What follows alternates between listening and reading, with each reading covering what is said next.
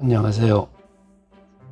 66회 시험을 대비한 배우락 수강생입니다. 저는 정년퇴직 3년 정도를 앞두고 있는 통신회사원입니다. 퇴직 후에 무엇을 해나 해야 하는 많은 고민 끝에 더 늦기 전에 주위의 권유로 자격증 취득 공부를 하게 되었습니다. 많은 준비 없이 시작해서 좋은 결과가 있을 줄은 기대도 안 했는데 합격이 되고 나니 조금 얼떨떨합니다. 계획은 소방 분야에서 새로운 사회생활을 할 예정이고요.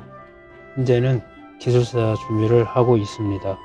제가 비전공자인데 새로운 분야에 도전하게 된 계기는 퇴직 후에 통신 분야보다는 안전관리 쪽의 업무를 하기 위해 준비하는 것이 사회 진출을 했을 경우에 더 많은 활용 가치가 될 수 있다고 판단하여 소방 관련 자격증과 위험물 자격증 준비를 하는 계기가 되었습니다. 통신 분야에서 새로운 직장을 구하는 것은 실질적으로 많은 어려움이 예상되었기 때문입니다. 66회 2번 시험의 난이도는 실제로 높지는 않다고 개인적으로 판단합니다. 그 이유로는 화학 반응식 및 약간의 계산과 일반적인 내용의 문제가 60점 이상을 얻을 수 있도록 출제된 것 같고요.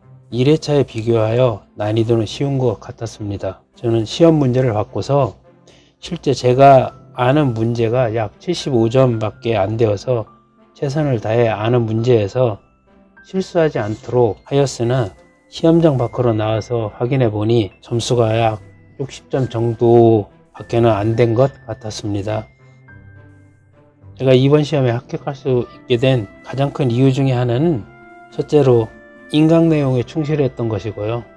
두 번째는 강의 시간에 중요하게 말씀하신 교수님의 내용 및 요점을 이해하고 반복 암기 또 세 번째는 필기보다는 실기 위주로 학습한 것입니다.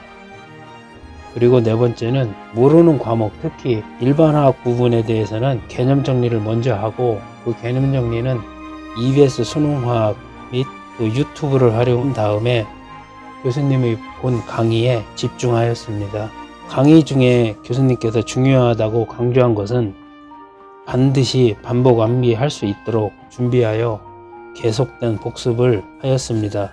특히 위험물의 유별 분류와 위험물 저장 및 운반 취급 등에 관해서는 철저하게 준비를 하였습니다. 또한 관연도 문제를 답안 없이 계속 풀어본 것이 합격의 비결이었습니다. 관연도 문제는 2008년부터 2018년까지 문제를 약 3회 정도 정확히 풀어보았습니다. 제가 추천하는 공부 방법은 몇 가지 다음과 같이 말씀드릴 수 있겠습니다. 첫 번째는 암기 노트를 작성했습니다. 암기 노트는 이렇게 조그마한 메모장 등에 이렇게 작성하여 가지고 다니면서 외울 수 있었고요. 두 번째는 답이 없는 관원도 문제를 가지고 문제를 계속해서 풀었습니다. 세 번째는 중요한 것을 요점 정리한 노트를 만들어서 이것에 대해서 계속해서 반복 암기할 수 있었습니다. 네 번째로는 정말 외우기가 힘들었던 유언물 유별에 대해서 이렇게 책 받침으로 이렇게 만들어서 시험 준비 전날까지도 완전히 반복 학습할 수 있게끔 했습니다.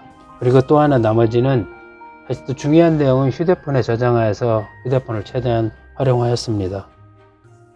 배우락 강의 중에서 가장 인상 깊었던 내용은 전혀 모르는 내용에 대해 쉬운 이해 및 열정적 강의가 돋보였고요. 주요한 내용에 대하여 계속적인 반복 및 강조가 복습 및 암기를 하는데 상당한 도움이 되었습니다.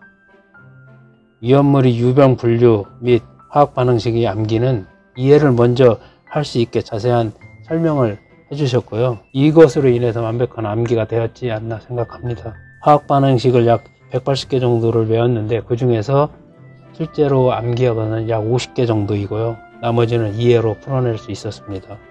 어, 시험을 준비하시는 그 수험생분들에게 한 가지 말씀드리자면 준비하는 과정에서 조금 어려움이 있다로 참고 좀 견디시고요. 일주일에 한 2회 정도는 반드시 휴식 기간을 갖고 그리고 포기하지 않았으면 반드시 합격할 것이라고 생각합니다.